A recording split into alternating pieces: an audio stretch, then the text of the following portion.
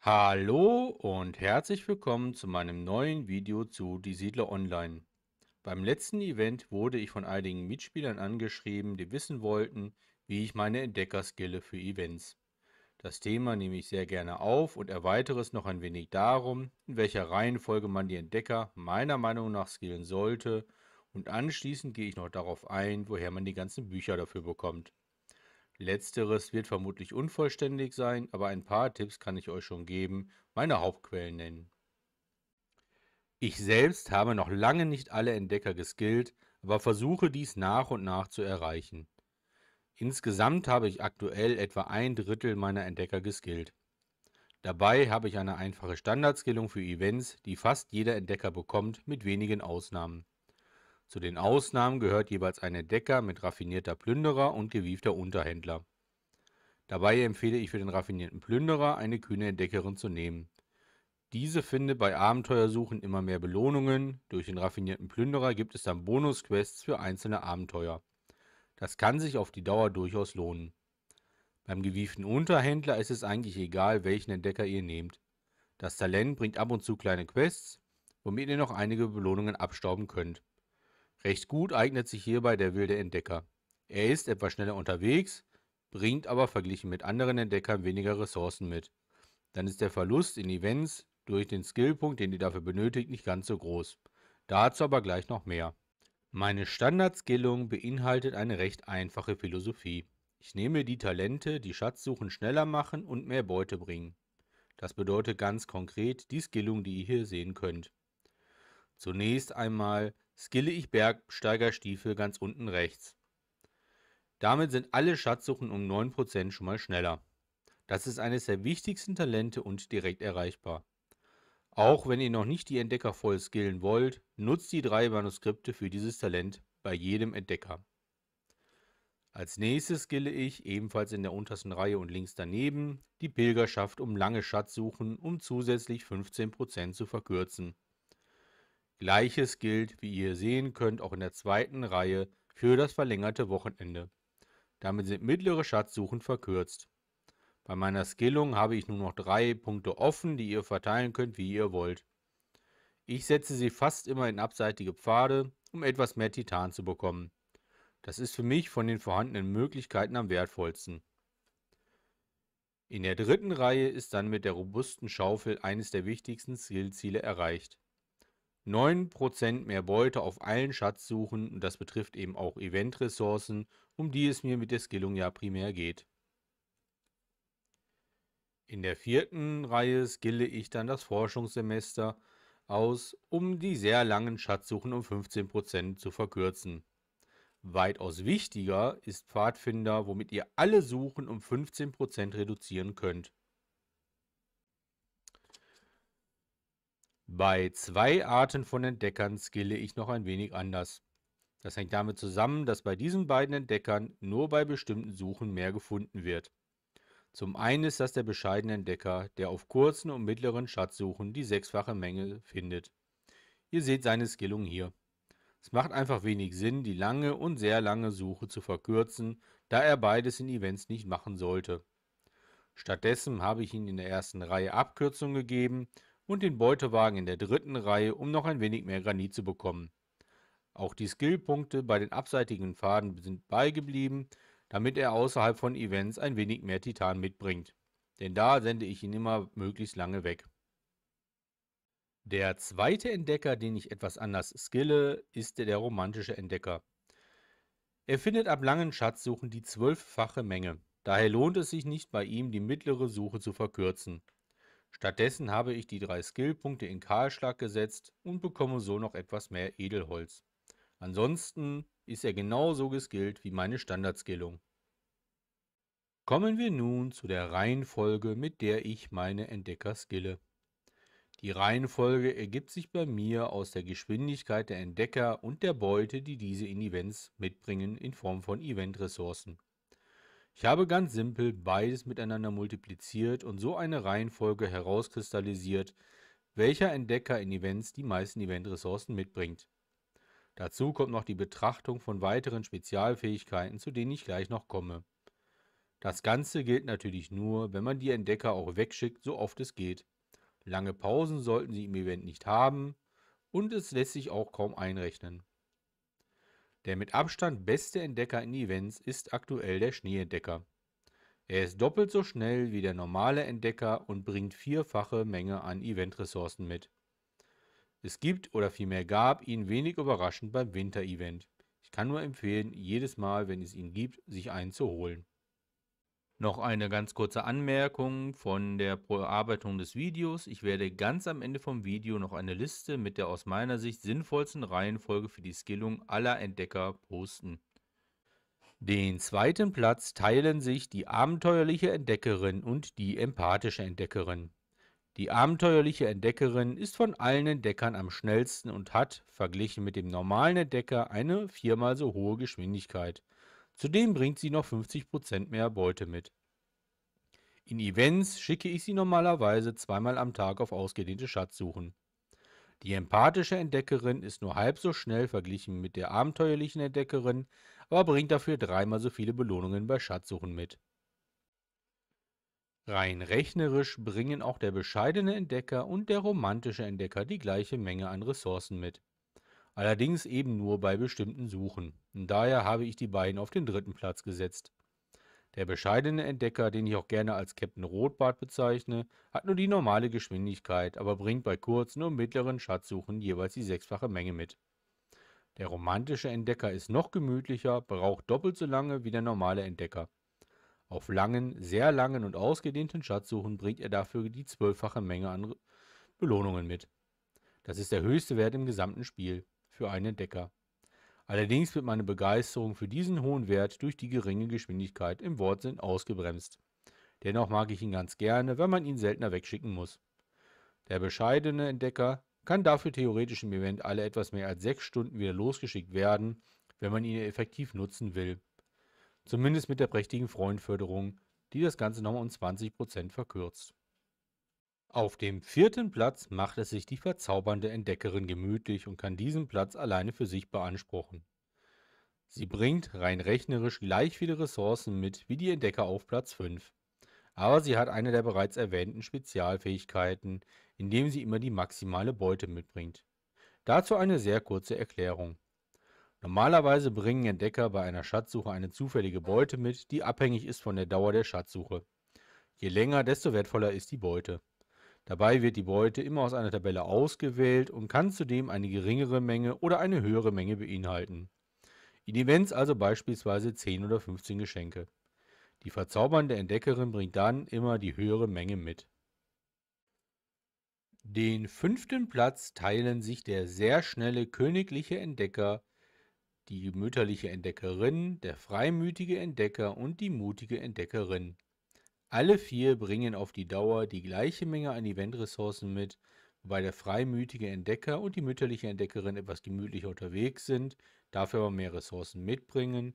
Der königliche Entdecker ist dafür genauso schnell wie die abenteuerliche Entdeckerin, bringt dafür aber nur einfach Ressourcen mit. Alle vier bringen rein rechnerisch etwa die Hälfte von dem mit, was ein Schneeentdecker mitbringt. Knapp dahinter befindet sich der Forscher-Entdecker auf Platz 6, der als einziger Entdecker eine 2,5-fache Geschwindigkeit hat. Das macht das Timing in Events etwas schwierig, da er sich ganz anders verhält als alle anderen Entdecker. Zudem bringt er noch 50% mehr Belohnungen mit. Die Hauptprotagonistin von Die Siedler 7, Prinzessin Zoe, befindet sich auch in der Reihenfolge auf Platz 7. Sie teilt sich dabei den Platz mit dem erfolgreichen Entdecker. Beide sind sehr schnell mit einer dreifachen Geschwindigkeit im Vergleich zum normalen Entdecker. Sie sind somit die zweitschnellsten Entdecker im gesamten Spiel. Dafür bringen sie aber nur einfach Beute mit. Auf dem achten Platz ist die entzückende Entdeckerin zu finden. Sie ist doppelt so schnell wie normale Entdecker, bringt dabei aber normale Beute mit. Allerdings hat sie die Spezialfähigkeit, ähnlich wie die verzaubernde Entdeckerin, und bringt immer die maximale Menge mit. Die kühne Entdeckerin, die unerschrockene Entdeckerin, der wilde Kundschafter und die wohltätige Entdeckerin befinden sich alle zusammen auf dem neunten Platz. Alle bringen, ähnlich wie die entzückende Entdeckerin, die normale Beute bei Schatzsuchen mit, sind dabei allerdings doppelt so schnell wie normale Entdecker. Den vorletzten Platz teilen sich der bereits mehrfach genannte normale Entdecker und der schreckhafte Entdecker. Der normale Entdecker ist der Standardentdecker bei Die Siedler Online. Er bringt bei normaler Geschwindigkeit auch die normale Beute mit. Der schreckhafte Entdecker ist der mit Abstand langsamste Entdecker im gesamten Spiel. Dies wiegt er aber zum einen durch die vierfache Beute auf, die er mitbringt. Zudem kann er noch sehr wertvolle Bonusbelohnungen mitbringen wie etwa Premium-Tage oder eine prächtige Freundförderung. Ihn wird man in Events vermutlich nur alle paar Tage versenden können. Er schafft nur 25% der Geschwindigkeit eines normalen Entdeckers, ist also ganz gern mal fast eine Woche oder auch länger unterwegs.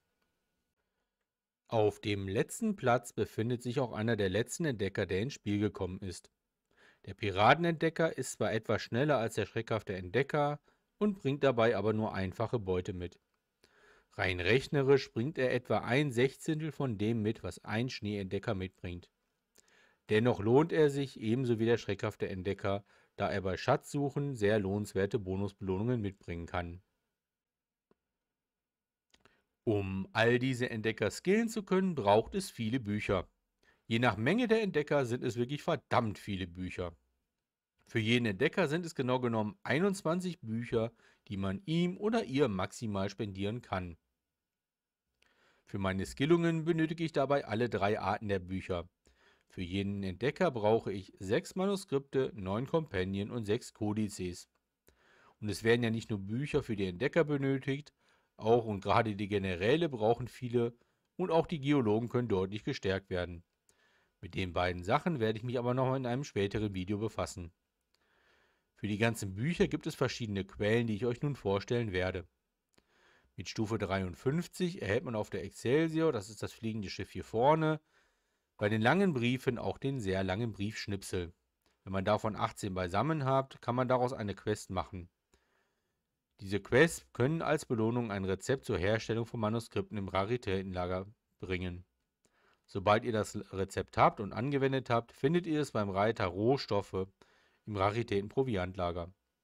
Es lassen sich auch theoretisch Kompendien und Kodizes herstellen.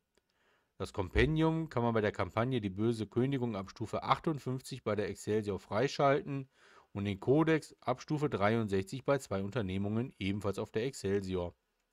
Das ist aber beides nicht zu empfehlen, denn die Produktion kostet auch die jeweils vorherigen Bücher und ist damit schlicht zu teuer. Der Kodex kostet beispielsweise vier Kompendien, bei normalen Buchbindern nur drei. Ich produziere im Raritätenlager von den Büchern nur die Manuskripte. Das kostet mich 770 einfaches Papier, 620 Schreibfedern, 100 Zauberbohnen und 32 Goldmünzen. Man muss hier nicht jedes Buch einzeln einsammeln, sondern kann, wenn man genug Ressourcen hat, gleich viele hintereinander in Auftrag geben. Da meine Produktion nicht ganz ausreicht, um dauerhaft Manuskripte herzustellen, fülle ich die Lücken im Raritätenlager mit anderen Produktionen, vor allem Steaks sind dabei hoch im Kurs.